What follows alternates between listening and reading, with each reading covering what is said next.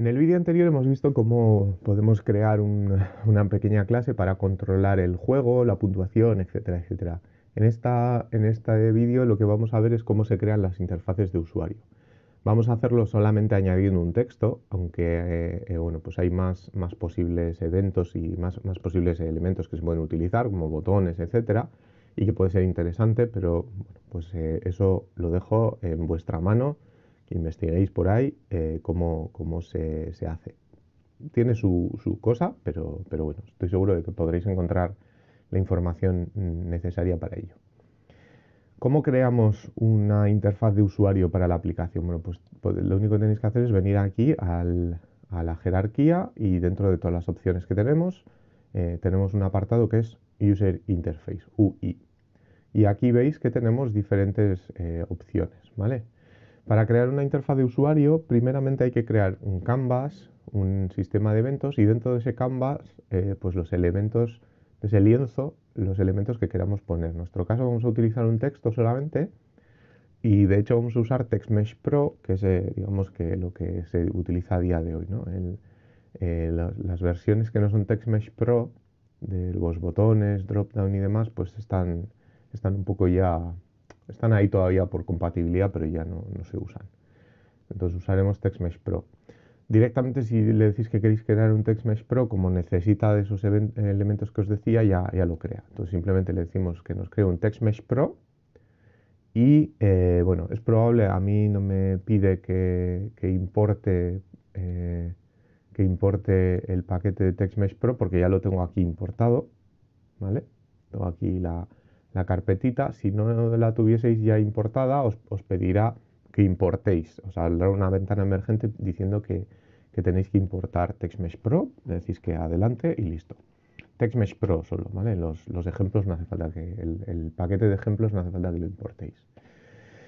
Bien, eh, vamos a ver entonces cómo, eh, cómo funciona esto. Bueno, si seleccionáis el canvas y recordáis la tecla F que sirve para hacer zoom, veréis que de repente se nos ha ido el zoom a, bueno, en fin, eh, aquí abajo, justo debajo de, del texto, podéis ver nuestra escena, que es minúscula, ¿vale? O dicho de otro modo, el texto es enorme comparado con la escena. Pero esto no es un problema, si os fijáis, si venís a la pestaña de juego, en realidad el texto aparece ahí abajo.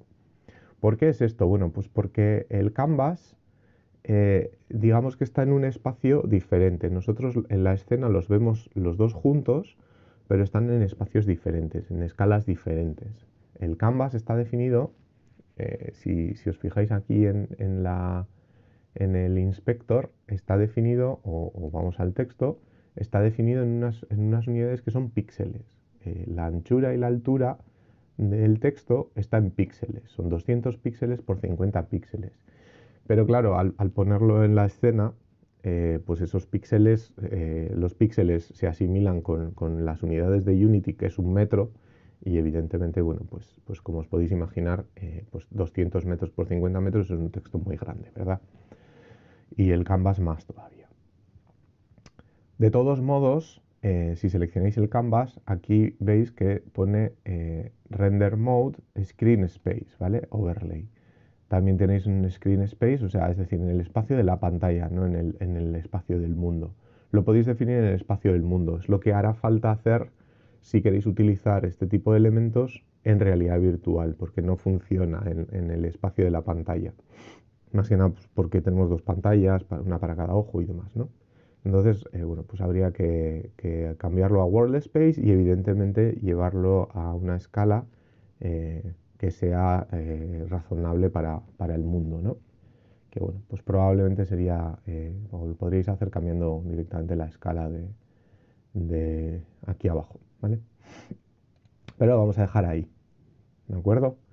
Veis también que, en el caso de las interfaces de usuario, pues la situación es un poquito diferente en el sentido de que no tenemos un, un, transform al uso, sino que tenemos algo diferente. Sobre todo si seleccionamos el texto, que por cierto le voy a llamar score text, ¿vale? Para llevar un, poco control de, los nombres. pues veis que, tiene diferentes elementos, una posición X y Z, una anchura y una altura, y luego tiene el anchor, eh, que nos dice, bueno, pues dónde están eh, anclado el, o sea, cuál es el punto de referencia para definir la posición de ese elemento, otra cosa que se llama pivot y luego ya tenemos una rotación y una escala un poco al estilo, ¿no? Pero es un, transform un poco diferente. Vale, ¿en qué consiste esto del anchor? Bueno, el anchor es eh, básicamente con respecto a qué vamos a definir la posición de, nuestro, de nuestro texto en este caso. ¿vale? Yo lo voy a colocar aquí arriba, entonces voy a tomar como referencia eh, la esquina superior izquierda. ¿vale? Veis que con eso eh, nos ha cambiado el X y el Y de, ese, anchor y también cambia la posición. Si yo le digo que la posición es 0, 0, veis que, eh, y vamos a hacer zoom sobre el texto, ¿vale? el pivot está en 0505 eh, y, el, y, exactamente el pivot está colocado en la esquina que le hemos indicado. ¿vale? Yo me interesa ponerlo en referencia con esta esquina, así que tengo que cambiar el pivot a 0, 1, puede ser. A ver, si ponemos esto en 0, 0, sí, perfecto. El pivot 0, 1 significa que eh, el, eh, la posición la definimos respecto a esto. No lo vamos a dejar ahí, vamos a, moverlo algunos píxeles eh, hacia adentro, pues 25 y algo hacia abajo, menos 25, ¿vale? Y si os vais a la pestaña de juego, pues ya veis dónde va a aparecer el texto, ¿vale? simplemente, bueno, lo podéis poner donde queráis. Luego, evidentemente, pues eh, podéis cambiar eh, su, su, anchura, su altura, etcétera, ¿vale? Eh, este componente de texto, pues tiene, tiene este, perdón, este GameObject eh, texto, pues tiene sus, elementos y eh, uno de ellos importante es, bueno, pues tiene una fuente, tiene, tiene un, un, campo en el que podéis poner, vamos a poner score, tal, ¿no? Podéis cambiar el, el tipo de fuente, aunque por defecto pues tampoco tenéis grandes opciones. No voy a entrar en cómo, se pueden... Eh, no es especialmente difícil, pero no voy a entrar en cómo podéis crear nuevas fuentes, pero podéis crearlas, podéis descargar fuentes de internet y, crear vuestras propias fuentes. ¿Vale? Podéis cambiar el tamaño del, de la esto. 36 estaba, 35 está bien. Podéis cambiar el color, podéis ponerlo en negrita, en itálica, en fin. Bueno, toda una serie de cuestiones, la alineación, mil cosas, ¿vale? Eh, lo que pasa es que no vamos a tocar esto para nada. Lo que, lo que sí que queremos hacer es que eso se actualice igual que se actualiza el log, ¿vale? O en lugar de que se actualice el log. Y para eso, pues eh, lo que vamos a tener que hacer es eh, irnos de nuevo a nuestro Game Controller. Aquí está. Y primero decirle que vamos a utilizar eh, TextMesh Pro, es decir, importar este paquete que es TMEP eh, Pro. Y además de tener estas variables eh, privadas, normalmente suelo tener tendencia a ponerlas abajo, vamos a tener una variable pública que va a ser de tipo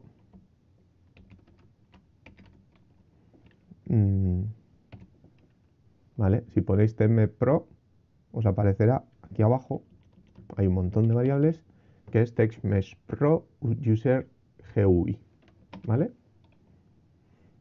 Y le vamos a llamar text o score text. Vale, lo vamos a hacer público para asignarlo en la, interfaz, de, en el editor de Unity, pero por supuesto podríais hacerlo, obtener ese elemento, ese objeto vía, vía em, vía código. De hecho, vamos a hacerlo vía código. Eh, eh, en la, a ver, gameobject.get o find, perdón.